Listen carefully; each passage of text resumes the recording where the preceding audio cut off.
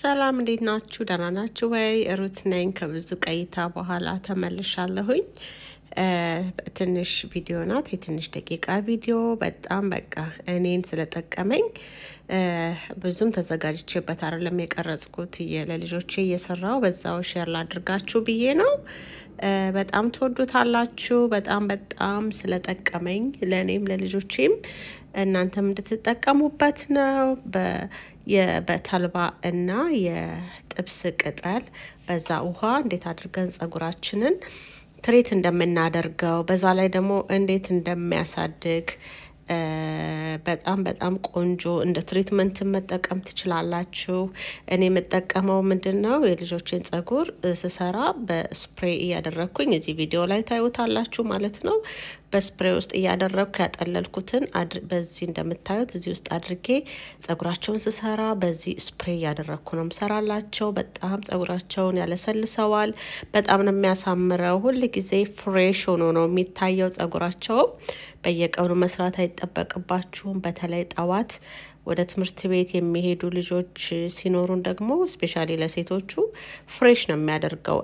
ይሄ የሚንጨባረር ነገር አይኖረውም። ፊት ለፊቱ ጋር የተበጣጠሰውንም ስፕሬይ ስታደርጉበት ያስተኛላችኋል። ለውጡን በጣም ታዩታላችሁ። እኔ በጣም ነው የወደድኩት የተመቸኝ።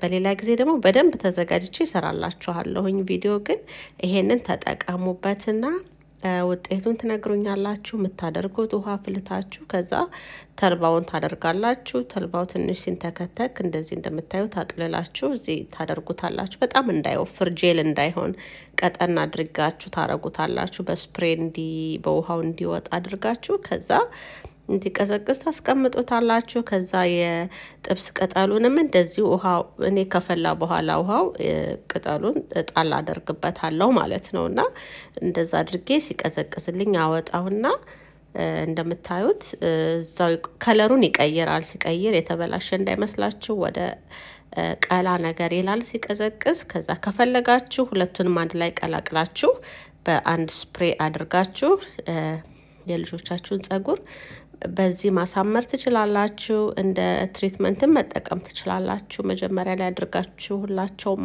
ጸጉራቸውን ማጠብ። እኔ ግን እዛው like ካጠብኳቸው በኋላ ነው በዚህ ነው የምጠቀመው። ትንሽ ቅባት አድርግና ከዛ ጸጉራቸውን ማለሰልስበት በዚህ ነው።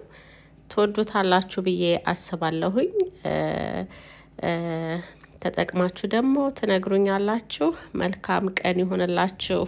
ባይ